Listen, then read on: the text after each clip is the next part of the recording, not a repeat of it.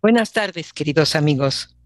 El Teatro Popular Universitario de la Universidad Autónoma de la Ciudad de México, perteneciente a la Coordinación de Difusión Cultural y Extensión Universitaria, está de nuevo con ustedes para llevarles Teatro Universal.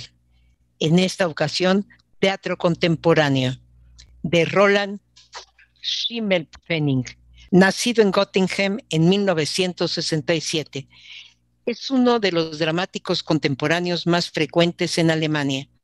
Después de una larga estancia como periodista en Estambul, estudió dirección en la escuela Otto Falkenherr de Múnich.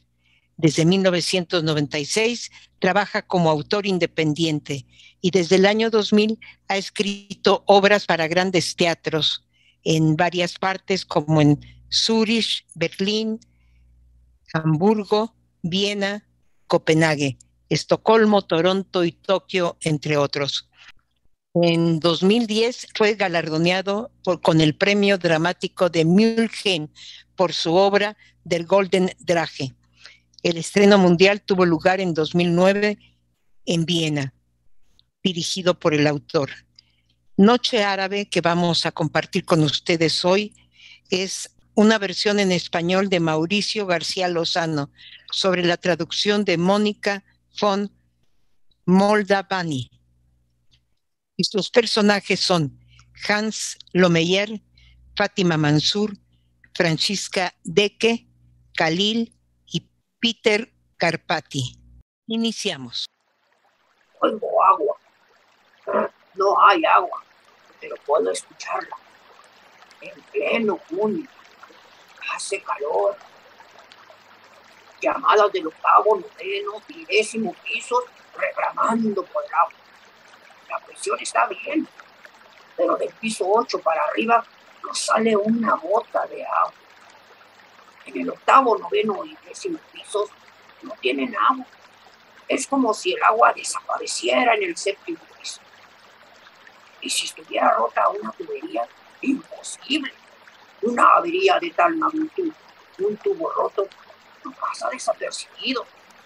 El agua correría por las paredes, por los pisos, por los pasillos. Pero oigo agua, la oigo detrás de las paredes, la oigo subir. Suena como una canción. El rastro de un canto en los pasillos, un canto en la escalera. El rastro conduce al séptimo piso. Tomo el elevador. Subo al séptimo piso para revisar, siempre acompañado por el sonido del agua. El rechinido del elevador anuncia que se va a descomponer pronto. Séptimo piso. A la derecha, 15 departamentos y el elevador. A la izquierda, 16 departamentos todos de tres recámaras, cocina y baño.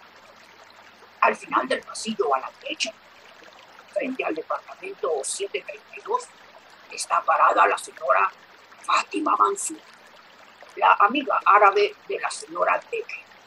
Comparten el departamento 732. 732 significa balcón en la cocina y ventanas hacia el sur-este. Baño hacia el oeste. La amiga árabe carga tres bolsas de compras y trata de abrir el departamento. Pero, ¿por qué se complica tanto? ¿Por qué no deja las bolsas en el piso y ya? El elevador rechina. Parece que se va a descomponer otra vez. Es difícil abrir la puerta con tres bolsos de plástico llenas bajo el brazo. No se puede. Se le caen las llaves. Mejor las llaves que las bolsas. Se me caen las llaves. Pero alcanzo a tocar el timbre con el codo. Ojalá que Francisca esté. Claro que está. Ojalá oiga el timbre. Lobeller, el portero de la bata gris, se acerca por el pasillo. Hace calor. Vuelve a tocar el timbre. Inclina su cuerpo con todo y bolsas y consigue tocar el timbre con el ¿Le puedo ayudar? Gracias. Eh, ya pude. Qué calor hace, ¿no? El día más caluroso del año. Lo dijeron en el noticiero de las 7. ¿Y todavía trabajando, señor Lomeyer? Sí. Algo pasa con la presión del agua en el octavo, noveno y décimo pisos. Menos mal que solo son diez pisos. No se ríe. Sí. Parece ausente, preocupado. ¿No tienen problemas con el agua? No sé todavía, vengo llegando. Si hay algún problema, te llamo al rato. Sí, por favor. Pudo haberse roto una tubería. Ella toca otra vez, pero nadie abre la puerta. ¿Me permite? Él se agacha y me recoge el llavero. Me lo quiere dar, pero se da cuenta de que tengo manos ocupadas, se queda ahí indeciso. ¿Cuántas llaves tiene su llavero? Sonrío. ¿Qué más puedo hacer? Él se queda mirando mi llavero. ¿Cuántas llaves? Fuera tan amable, me quito. Es la llave junto al camello. El camello de plástico que cuelga del llavero está viejo y gastado. Eh, no es muy bonito. Él desliza la llave dentro de la cerradura. ¿Le molestaría si reviso rápidamente la presión del agua en su departamento? Para ver si está bien. No hay problema. En el instante en que hago girar la llave dentro de la cerradura, se abre la puerta desde adentro. Ante nosotros, sudando y en ropa interior, Francisca Beck, la dueña del 732. ¡Oh! Ay, me pareció oír algo. Hola. Buenas tardes, señora Deque. Hola. Ah, mejor subo al rato. Como quiera. ¿No me oías? Toqué el timbre como tres veces.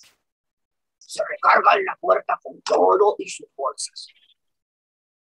No sé. Estaba descansando en el sofá. Sus llaves siguen pegadas. Saco la llave de la cerradura y le paso el llavero a la señora Mansur. Me pasa el llavero. Lo engancho en uno de mis dedos entre las bolsas. Eh, muchas gracias otra vez y venga cuando quiera para ver por dónde se le escapó el agua. Sí, quizás sea necesario. Por lo pronto, buenas noches. Consigo entrar con mis bolsas. Gracias. Cierro la puerta.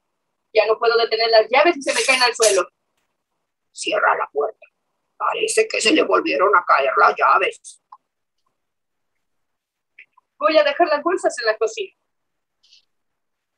Francisca, de que dice en el letrerito cubierto por un plástico descolorido al lado del timbre, escrito a mano.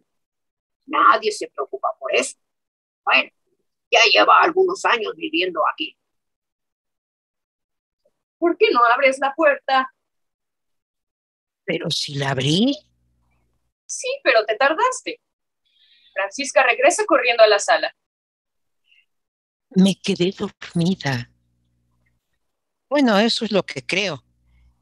En el sofá. Es que hace tanto calor. ¿Por qué no cierran las cortinas? No sirve de nada. ¿Sabes qué? Me voy a bañar. Aprovecha. En los pisos 8, 9 y 10 no tienen agua. ¿Verás? Por eso venía lo Lomeyer. Debí de haber entrado de una vez. No creo.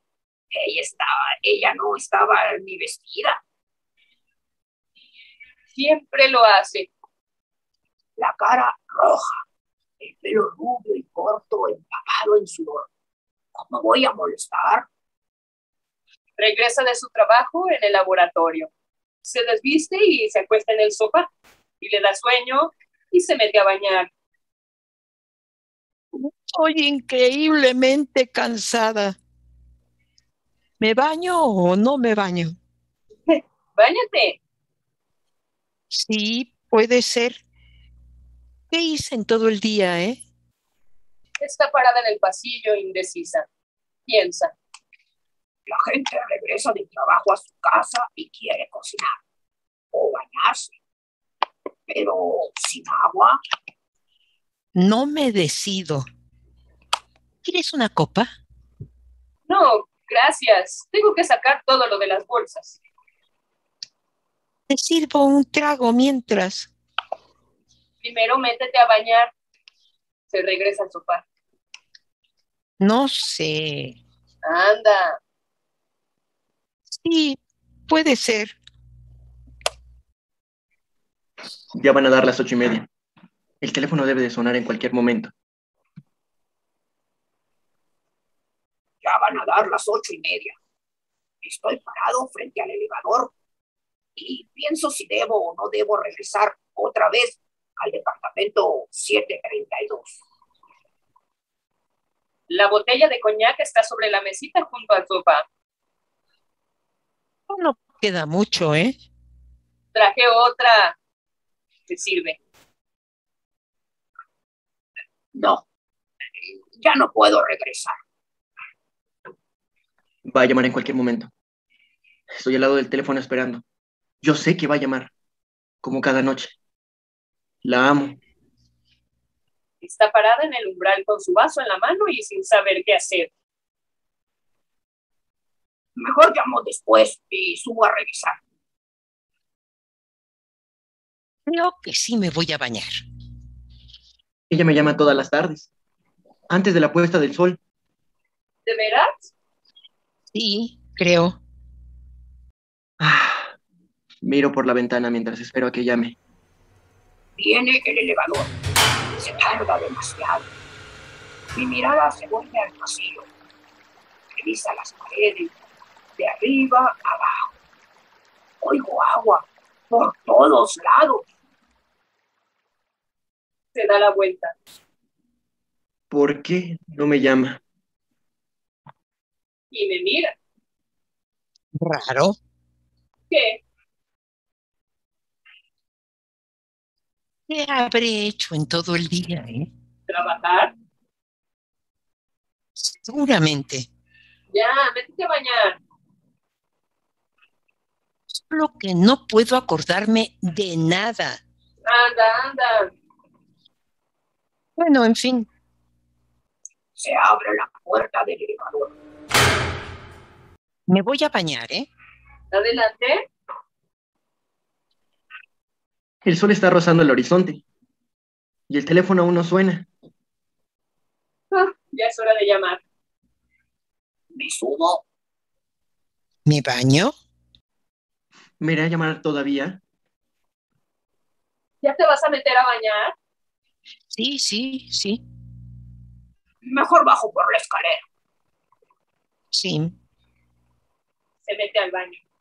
Tomo el teléfono. Bajo. La escalera cambia.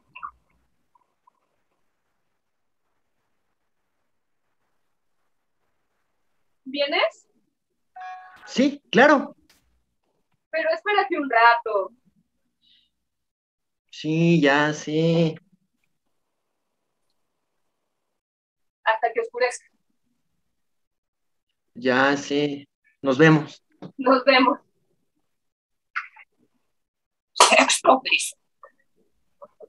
El atardecer. Miro por la ventana hacia la fachada del bloque C, frente al mío. Un reflejo de luz me hiere los ojos, me deslumbra. La ventana traslúcida del baño de uno de los departamentos del séptimo piso está completamente abierta. El espejo sobre el lavabo refleja los rayos del sol poniente. Puedo distinguir hasta los cepillos de dientes en un vaso al lado de la llave de agua. Una mujer de pelo corto y rubio entra al baño. Está en el baño, como todas las tardes. Antes de la puesta de sol, ella regresa a casa. Se desviste, le da sueño.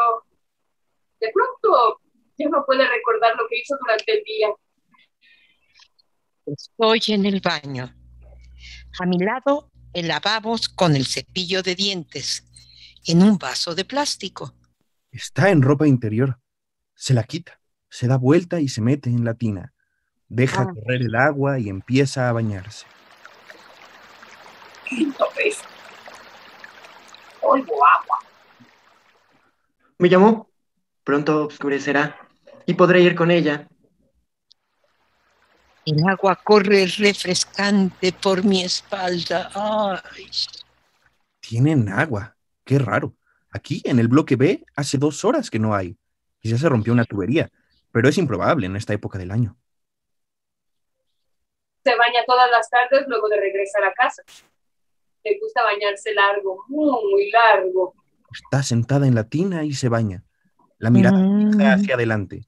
Parece no darse cuenta de que la ventana está abierta. Se baña. Solo veo su cabeza y, a ratos, su brazo derecho. Cuarto piso. Estoy sentada en la tina, la mirada fija hacia adelante. ¿Qué hice hoy durante el día? Escucho el correr del agua en el baño. Me quedo en la ventana, pero no por la mujer de la tina. Hay algo extraño. Un ruido. La ventana está abierta. Ella regresa del trabajo. Trabaja en un laboratorio. Entra por la puerta y a partir de ese instante, con cada segundo, el día se desvanece de su memoria paulatinamente hasta que, con la puesta del sol, todo ha desaparecido. No recuerda nada de su propio nombre. Oigo agua. Guardo las llaves en el bolsillo y tomo el casco. ¿Será posible? ¿Vendrá de afuera? Abro la ventana. Tercer piso. En el edificio de enfrente, en la parte del bloque B, cubierta de sombras, se abre una ventana del séptimo piso. No, no viene de afuera. Un hombre se inclina hacia afuera, como buscando algo. Parece un canto. Buscará. Tampoco viene de adentro. Agua. ¿Me alcanzará a ver? No, no creo. Arranco la motoneta. ¿Qué hice hoy todo el día? Me pregunto. Así ha sido desde que estamos aquí. Llevamos cuatro años viviendo aquí juntas. Con la puesta de sol se queda definitivamente dormida en el sofá cada noche. Entonces viene mi amigo Khalil. Ella no lo conoce, no sabe ni que existe porque siempre está dormida cuando viene a verme. Segundo piso. La conozco ya desde hace dos años. Es la única mujer en mi vida. Jamás la engañaría. Jamás. Ahora cierra la ventana. El cristal refleja el azul de un cielo atardecido. No, no creo que me alcance a ver. Cierra el agua. Se levanta. Se seca. Nunca le he hablado de él. Me seco y me envuelvo en una toalla y salgo. ¿Por qué será? Sale del baño. Ni idea. Siempre es lo mismo. Tengo que esperar la puesta del sol para poder ir a verla. Me subo en mi motoneta y voy a verla. Entro al pequeño departamento. Ella me espera en la puerta. En el sofá está durmiendo su compañera Francisca. Nunca se despierta. Ni me conoce. No me ha visto nunca. No sabe que existo. Primer piso. ¿Estuvo rico? Mm. Se quiere recostar en el sofá. El sol ya va a desaparecer. ¿Quieres otro coñac? Ah, bueno, Bosteza. ¿Cómo te fue hoy? hoy, ah, Sí, ¿dónde? en el trabajo. Desapareció. Pero el ruido sigue en mis oídos. El ruido del agua. Como si siguiera bañándose. Abajo, ¿eh? ¿De qué hablas? Se le cierran los ojos. Planta baja. El faro de mi motoneta dibuja un cono de luz sobre el pavimento. Hace calor. Alcanzo a ver los edificios cerca. Estoy por llegar. Por pura curiosidad, aprieto el botón del elevador en la planta baja. El canto me lleva hacia afuera. Me lleva hacia ella, frente al bloque C, al séptimo piso. Ya me lo esperaba. Aprieto el botón del elevador y no pasa nada. El elevador se quedó atorado en el séptimo piso y no se mueve. Se descompuso. Definitivamente. ¿Duermes? ah, ¿Estás dormida? ¿Qué? ¿Ya te dormiste? Ay, déjame. Salgo de mi departamento. Tengo que ir a verla. Se va a despertar justo cuando salga el sol. Entonces, ¿va a preparar café árabe? ¿Me va a despertar? Buenos días, Fátima, mi princesa oriental. Tengo que correr al trabajo. Creo que anoche volví a quedarme dormida en el sofá. ¿Por qué no me despertaste? Hmm, Me pregunto lo que pasaría si alguna vez se despertara durante la noche. Corro por el pasillo hacia el elevador. Tengo que hablar con ella. Si alguien consiguiera despertar, Ya llegó el elevador. Tengo que contarle lo del canto. Abro la puerta de metal con ventanita. Me subo al elevador. Toco planta baja. La puerta de seguridad se cierra con estrépito y yo me deslizo hacia abajo. haría falta que alguien viniera a darle un beso para despertarla. A lo mejor. Seis, cinco. Resuena en mis oídos como si estuviera en un baño turco. Cuatro, tres. Los edificios están cada vez más cerca. Hay miles de departamentos. Y luz detrás de las cortinas. Ahí arriba vive Fátima. Dos, uno. Camino por el pasillo del sótano hacia mi departamento. Ante la puerta, recuerdo de golpe la voz de mi ex esposa. Planta baja. Salgo del elevador y cruzo el césped que divide los edificios. Ya está oscuro. En los departamentos hay luz. Las puertas de los balcones están abiertas. Recuerdo cómo hablaba. Estoy frente a la entrada del edificio C y volteo a ver hacia el séptimo piso. Si alguien viniera y la besara, probablemente se acabarían estas noches. Estas noches con ella dormida en el sofá mientras yo veo la televisión o me encuentro con Khalid. La puerta de la entrada está abierta. Hace tanto que no pensaba en eso. Subo en elevador o por las escaleras. Detrás de las paredes rumorea el agua. La puedo oír. Sigo el rumor. Tomo las escaleras. Estoy llegando. Oigo la moto de Khalid allá abajo. ¿Por qué ahora? Primer piso. Sé que alcanza a ver mi moto. Ahí está. Mejor no acordarse. Me detengo frente a la entrada del edificio y acelero neutral antes de apagar la moto, como siempre. Aseguro el casco al manubrio con un candado. No acordarse. Estoy frente a la entrada y volteo a ver hacia el séptimo piso. Ella vive ahí arriba. Va a ir directo al elevador. La puerta de la entrada está abierta. Segundo piso. Subo en el elevador o por las escaleras. Estoy parado frente a la puerta oscura del elevador, indeciso. La veo frente a mí, mirándome y hablándome. Toco el botón del elevador. No pasa nada.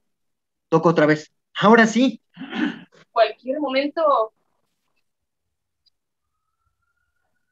El elevador viene bajando. Suena raro. Tercer piso. Francisca duerme. Olvídalo. Ahí viene, por dentro. Se abre la puerta del elevador. Abro la puerta de metal con ventanilla y me subo al elevador. Toco el 7. Capacidad para 5 personas o hasta 400 kilos. Año de construcción, 1972. Lubes and Peters. Olvídalo ya. La puerta de seguridad se cierra, respirando. El elevador se pone en marcha. Primer piso. Voy a recibirlo en la puerta. Segundo piso. El elevador suena raro. Tercer piso. Ay, cuarto piso.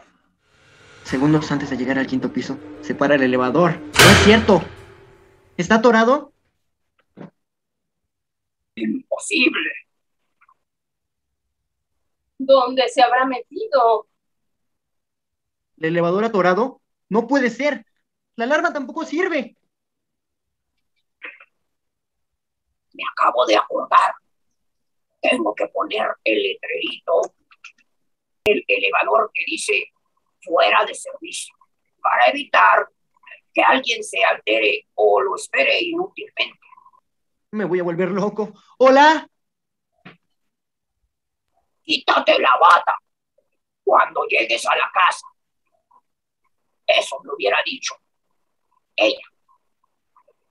Quinto piso. Estoy nervioso. ¿Me alcanzarán a oír? Y tengo que llamar al servicio técnico de Loves and.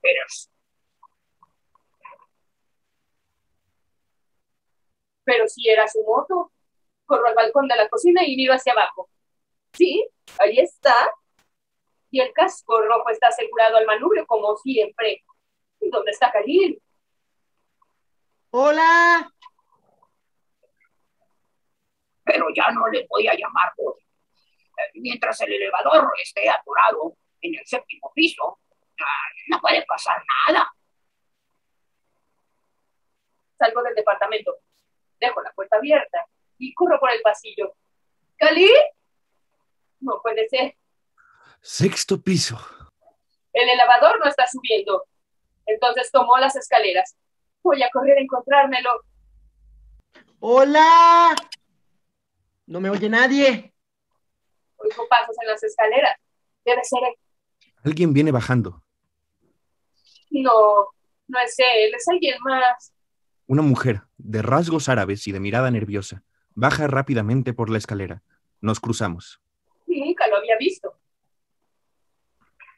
Ya sabes que no me gusta la bata esa. Sexto piso.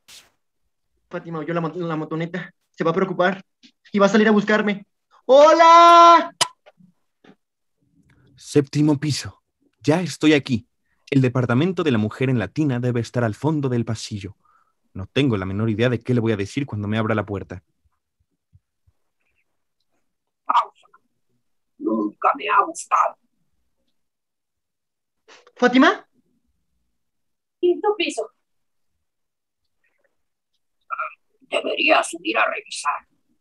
Me he hecho una carrerita para allá y le pido permiso a la señora de que de revisar las tuberías rápidamente. Corro por el pasillo. Me zumban los oídos. ¿Y, y- y si nadie me encuentra? ¿Qué hago? Cuarto piso. Corro hacia abajo. ¿Cali? Sí, eh, de una vez.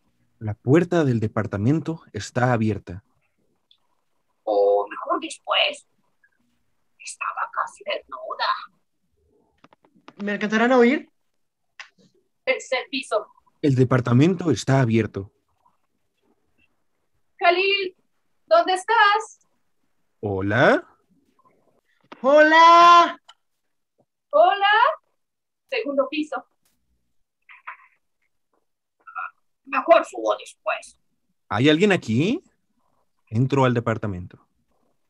O mejor. Aprieto todos los botones del elevador. Inútil. Primer piso. Mi corazón se acelera. Estoy sin aliento. Planta baja. Y me acuerdo de golpe. Dejé el departamento abierto. Allí está, recostada en el sofá. Duerme. Es preciosa. Duerme profundamente. En mis oídos, el rumor del agua. En mi cabeza, el canto cada vez más definido. Desesperante. Sin rastro de Khalil. No es posible. Salgo del edificio. Allí está su motocicleta. Se levanta un viento cálido. La puerta se cierra atrás de mí y no traigo las llaves. Mejor subo de una vez. La puerta está cerrada. ¿Qué hago aquí? Estoy en un departamento desconocido junto a una mujer que duerme. Está casi desnuda. No tiene caso tocar el timbre. Francisca no se despertaría nunca. Calor hace aquí adentro. Nadie sale ni entra.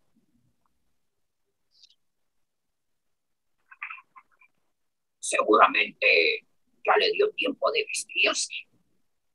Camino por el pasillo del sótano. Me hinco junto a la mujer que duerme, cerca de sus hombros, blanquísimos. Sobre la mesita, junto al sofá, hay una botella de coñac casi vacía. Se apaga la luz. Se apaga la luz de adentro. Nadie viene con llaves para entrar. Arriba de mí, los balcones de los diez pisos y el cielo de una noche despejada. Tengo que salir de aquí. Voy a tomar un trago. Camino en la oscuridad hasta las escaleras. Frente a mí, un interminable repertorio de timbres. Los nombres ordenados en columnas paralelas. Hernández, García, Martínez, López, González, Pérez, Rodríguez, Sánchez, Ramírez, Cruz, Flores, Gómez. Toco su cabello rubio y corto. Perdón, yo... Torres, Acosta, Aguilar, Alvarado, Álvarez, Camacho, Castañeda, Castillo, Chávez. ¿Por dónde empezar? La luz de adentro se vuelve a encender. Quizás venga alguien. El agua desaparece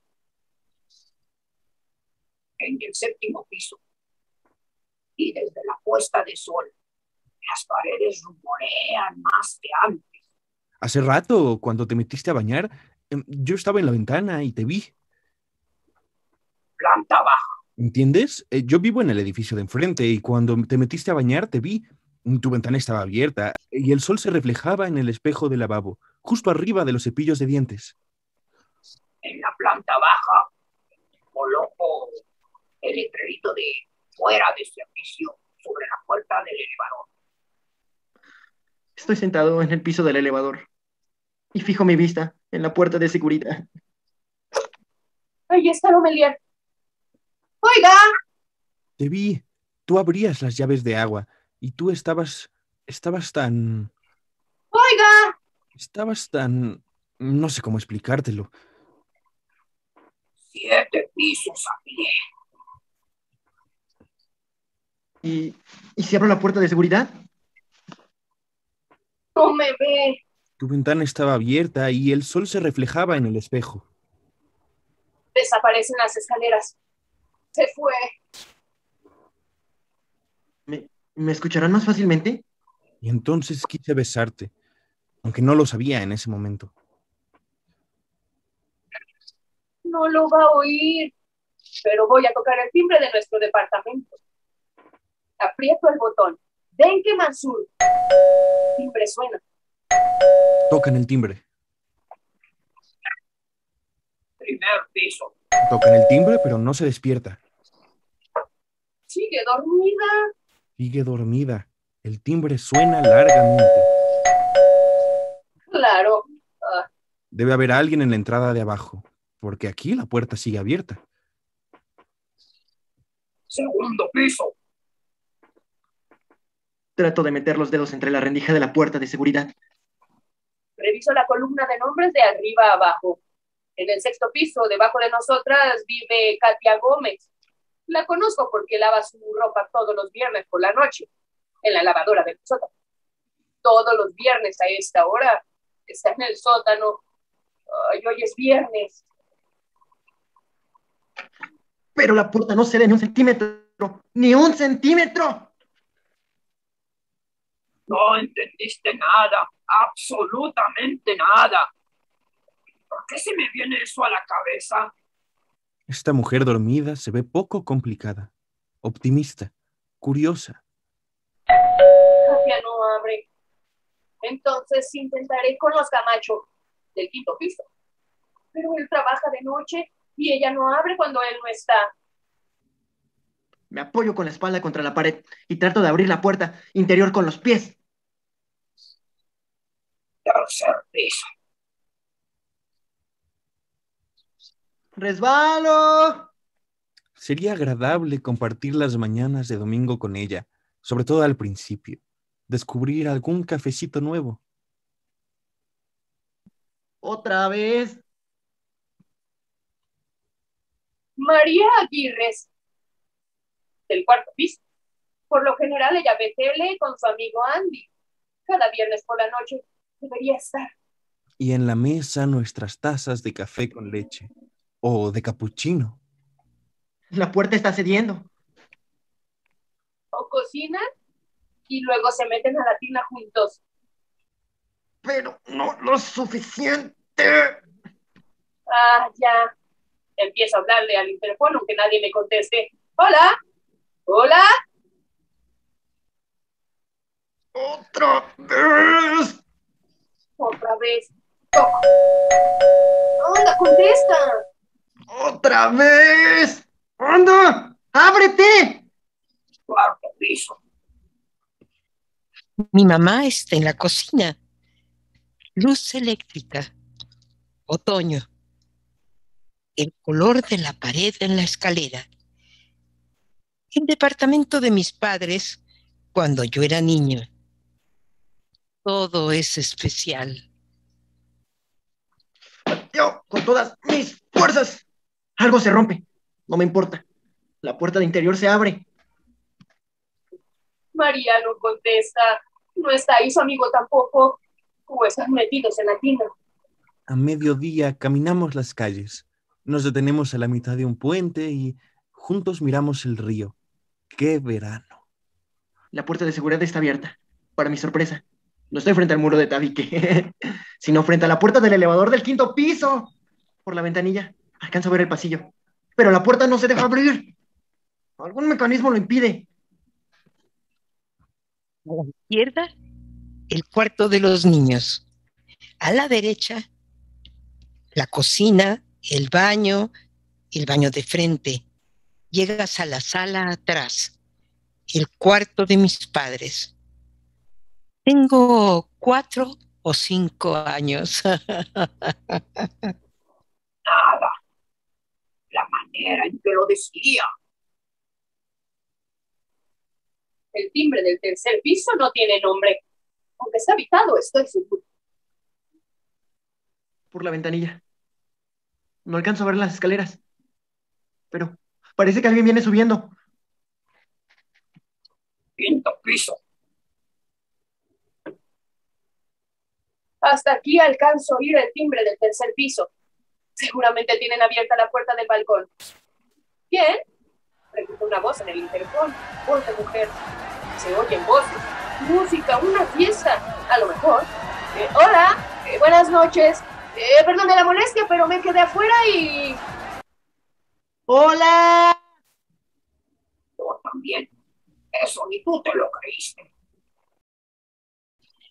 Hasta aquí vamos a dejar esta lectura dramatizada de Noche Árabe.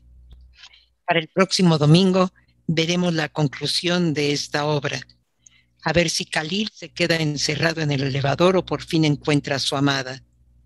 A ver si Fátima puede entrar a su departamento o nadie le va a abrir porque ahí todos son sordos e incomunicados. Veremos en qué termina esta obra. Les mandamos muchos besos, muchos saludos y estuvieron con ustedes como Fátima. Ané Álvarez. Como Lomeyer. Carmen Álvarez. Como Khalil. Francisco Flores.